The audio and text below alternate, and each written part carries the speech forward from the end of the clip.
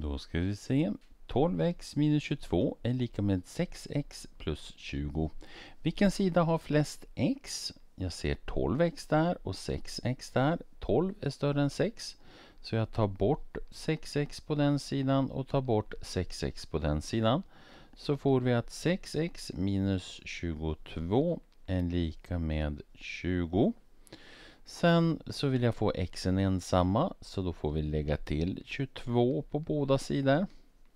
Så får jag att 6x är lika med 42. Delar med 6 på båda sidor. Så får jag att x är lika med 42 genom 6. Det är 7.